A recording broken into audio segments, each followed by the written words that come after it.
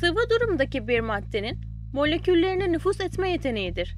Var olan su kütlesinin biçimini değiştirmek yani manipüle etmek esas amaçtır. Başlangıç itibariyle geliştirme teknikleri telekineziye benzeyebilir. Örnek verecek olursak, bir su kütlesinin ortasındaki mantar tıpayı hareket ettirmek fakat dikkat edin mantara odaklanmak değil, suya etki ederek mantarı oynatmak. Tıpkı girdaba yakalanan bir geminin sürekli dönmesi gibi. Burada bu zaten suya telekinezi uygulamak değil midir diyebilirsiniz. Evet, aslında olabilir. Fakat suyla gerçek bir bağlantı kurmalısınız. Sadece maddeye yönelik bir fizik değil, elementin kendisiyle bir olmalısınız. Eğer gerçek yeteneğiniz suysa, zaten egzersiz sıklığınıza göre kısa bir sürede ilerleme kaydedebileceksiniz. Su hariç bir şey düşünmeden meditasyon yapın. Yoğunlaşın. Bütünüyle suyla kaplandığınızı, gerektiğinde suyun derinliklerine daldığınızı hissedin. Su olun.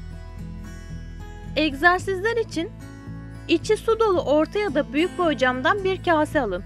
Çünkü suyun tamamını görebilirsiniz. Mantar tıpa gibi su üstünde kolayca yüzebilen bir nesneyi üzerine yerleştirin. Şimdi sıra geldi işin en çok pratik isteyen bölümüne. Kasenizin karşısında gözlerinizi kapayın. Suyun enerjisini, serinliğini, titreşimlerini hissedin. Onun enerjisiyle kendinizinkini birleştirin. Zihninizde suyla kurduğunuz enerji bağını hayal edin.